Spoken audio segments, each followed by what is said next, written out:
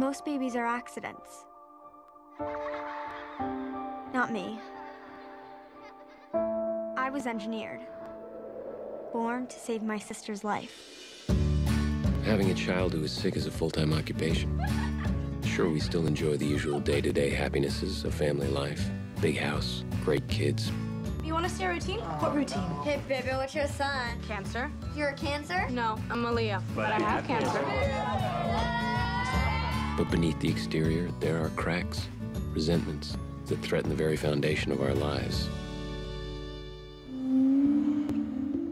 Oh my gosh, it's really you. I'm Campbell Alexander. What can I do for you? You've seen my commercials. That's why I'm here.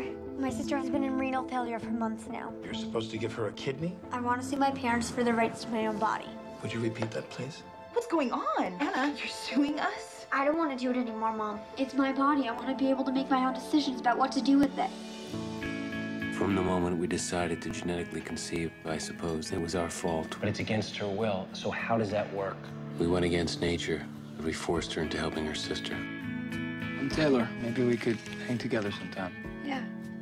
I don't mind my disease killing me, but it's killing my family too. What is she doing out of the hospital? We're going to the beach. You take her to the beach, you're If killing you'd her. like She's to come, gonna I better, die. you better come, because if you don't, I want a divorce.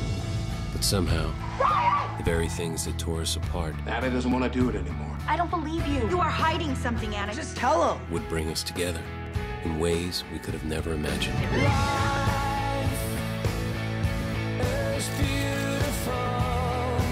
I look pretty, Daddy.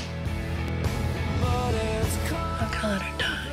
I can't. I know it's important for you to feel like you never gave up. Sooner or later, you gotta let go. I know I'll be okay.